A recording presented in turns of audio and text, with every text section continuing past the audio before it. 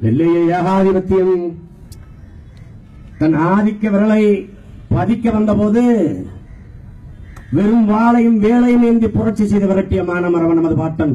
பூலித்தேவன் பிறந்த நாளில் தமிழ் தேசிய இனத்திற்கென்று ஒரு மாபெரும் புரட்சிகர அரசியலை விதைத்த அண்ணன் தமிழரசன் பிற- நினைவு நாளில் நம் தங்கை அனிதா இன்னுயிரை இருந்திருக்கான் அதே பொன்பரப்பி தமிழரசன் பிறந்த மண்ணில அவன் உலகிய மண்ணில எங்கள் ஐயா சோழன் நம்பியார் சொன்னது போல தமிழ் தேசிய இனத்திற்கென்று ஒரு தேசம் வேண்டும் என்று கனவு கண்ட புரட்சியாளர்கள் இங்கே பல பேர் இருக்கான் பிரபாகரனுக்கு முன்பு தமிழ் தேசிய இனத்திற்கான உரிமையை விடுதலையை ஆயுதமேந்தித்தான் அந்த கிளர்ச்சி புரட்சியின் மூலம்தான் பெற்றுவிட முடியும் பெற முடியும் என்று நம்பிக்கை கொண்டு புரட்சி முன்னெடுத்த பெருமகன் கலிய பெருமானின் உளவிய மண்ணில் இந்த தங்கை உயிர் நீத்திருக்கான் என் அன்பிற்குரிய தம்பி தங்கைகளுக்கு மிகவும் பொறுப்பும் கடமையும் கையளிக்கப்பட்டிருக்கு.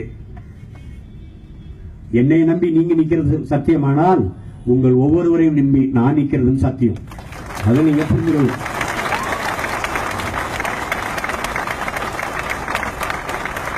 நம் தலைவன் நமக்கு கற்பித்ததுதான். அவனிடத்திலே நீங்கள் பாதுகாப்பாக இருக்க வேண்டும். உங்களை பாதுகாக்க வேண்டும் என்று சொன்ன இடத்தில் என் அண்ணன் நம் தலைவன் சொன்னது நான் சாகலாம். நாம் செத்துவிடக்கூடாது.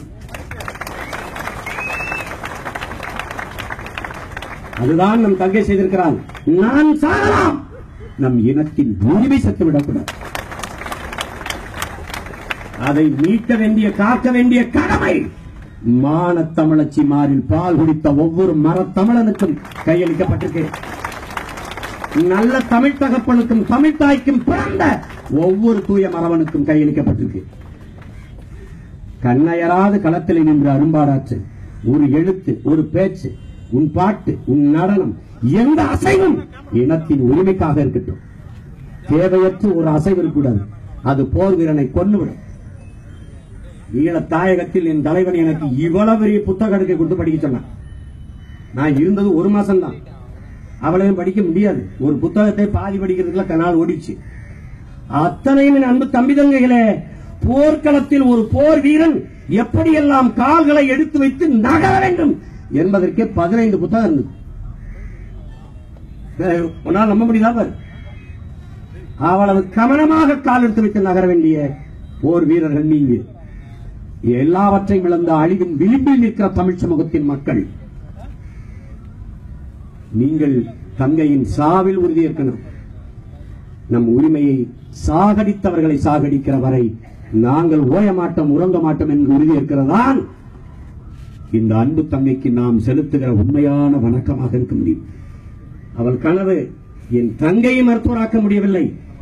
அவள் போல இனி பல்லாயிரக்கணக்கான தங்கைகளை தம்பிகளை மருத்துவராக்கி இந்த மண்ணுக்கு மக்களுக்கும் சேவை செய்ய வைக்க வேண்டியது நமது கடமை. எங்கள் கல்வி எங்கள் மக்களுக்கானது. மருத்துவம் ஒரு மகத்தான சேவை. அது என் மக்களுக்கு தேவை. இந்த அடிப்படையில் தங்கை அனிதா சுமந்திருந்த அந்த கனவை தமிழர் தாய் நிலத்தில் நிறைவேற்றுவோம். அதற்காக உறுதியேற்போம்.